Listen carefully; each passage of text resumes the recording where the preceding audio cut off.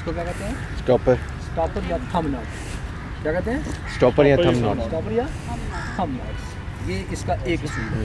Understand दोबारा इसको देखें। यहाँ से आप इसको यानी कि नॉर्मल आप जो गिरा लगाते हैं इसको कहते हैं थम नॉट या स्टॉपर अंडरस्टैंड इसके बाद हम कहते हैं जब ये दो सिरे आपस में जुड़ते हैं ऐसे करते हैं बराबर। तो इसको कहते हैं लूप क्या कहते हैं? लूप लूप क्या कहा जाता है? लूप। लूप। जब इसको हम ऐसे क्रॉस करते हैं ये।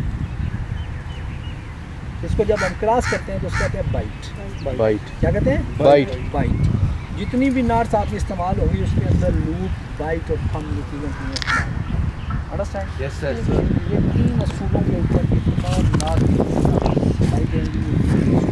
लगती हैं और खुलती भी हैं। याद रखें जितनी नाट आसानी से लगे उतनी आसानी ओके ओके सबसे पहले अभी लगाएँ आप थम चलो।